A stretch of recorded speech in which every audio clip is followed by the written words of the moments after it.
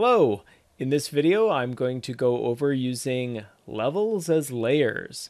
Especially this is going to be focused for virtual production, but it's also really useful just simply for collaboration. So what do I mean by that? Well, about two years ago, there was a video made by Unreal. It was a live stream uh, with Grayson Edge, who's a senior cinematic artist at Epic. And he presented how he used different levels uh, and he organized his virtual production work in uh, different levels. And I thought that was really useful. And so I wanted to show how that's done.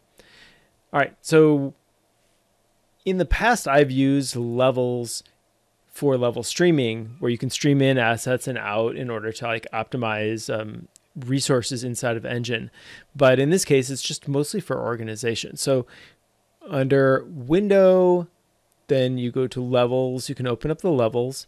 And then what I do is I create a persistent level, which is an empty level. It's just sort of a shell level. So you go file, new, create an empty level.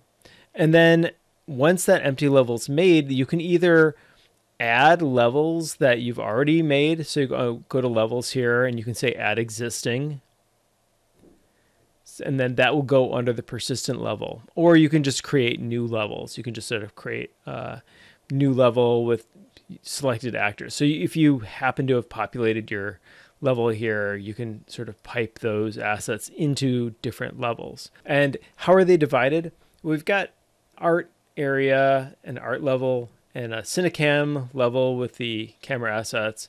And also, I've been doing a lot of recent work with LiDAR and it's really nice. You can scan an entire area, and whether you're using it just for measurements or to lay out your track for where you're going to do a practical shoot with virtual production, you can then freeze the LiDAR so that you don't select it by accident and then build on top of it in Unreal or just lay out um, cameras.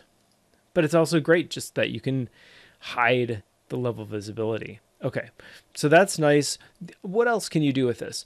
Well, the other thing that's great is that sometimes you want to be able to just select something in the cameras. So if you go to the world outliner, you can actually filter by level, which is kind of nice. So under the view options, you can say show only in current level. And since we're on the Cinecamera level, only the Cinecamera assets show up. Ah, but I'm seeing one thing that also happens, which is sometimes you might be on a level and then you you're like, "Oh, I need one more zucchini for my uh, road here." And you add it and then but you're on the level so if you double click you that's the level you're working on. You'll see it it sort of highlights blue. Except for in this case, right now when I hide all the cameras, there's, there's an actual zucchini that should be in the art assets. So how do we fix that? Uh, you just select the asset in question and double click and right click and go to move selected asset to level. So now when we hide the cine camera, it goes, it's right in the right place. Okay, awesome. Um, what else? Okay, one other thing that's useful is that in the art asset area, um, you can create an empty actor. So just right click, go to blueprint class, create an actor, and I called that actor stage origin. And I put it at 0, comma 0, comma 0, and then I took all the assets in the level and I made them movable.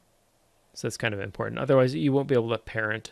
But then you just select everything and just parent it under the stage origin. And what does that let you do? Well, sometimes when you're doing virtual production, you just need to move or nudge around uh, different, you know, your your your entire like art assets. So you might need to rotate it just a little bit in order to get it positioned for lights better. But that's a really useful workflow as well. All right.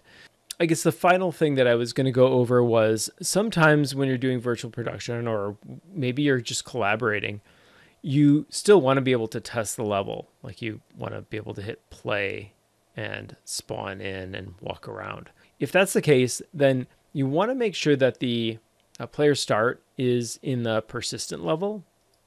And also, so you just select that, you can right click, make sure that it, it moved to the persistent level, but it's already there, so uh, you don't need to move it.